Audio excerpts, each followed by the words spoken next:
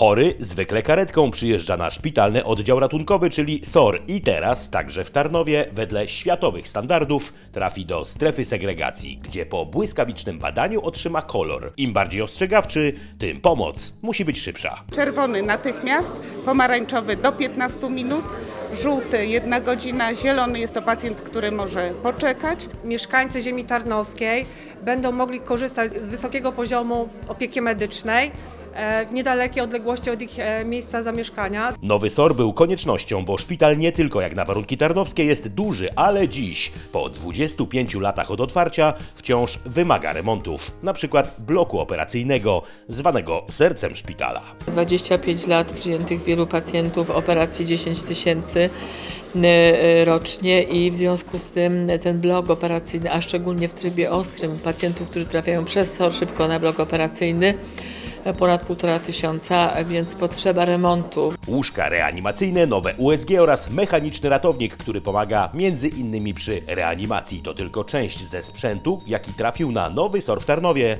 Pozostaje wszystkim życzyć, by ten nowy sprzęt oglądali tylko w telewizji.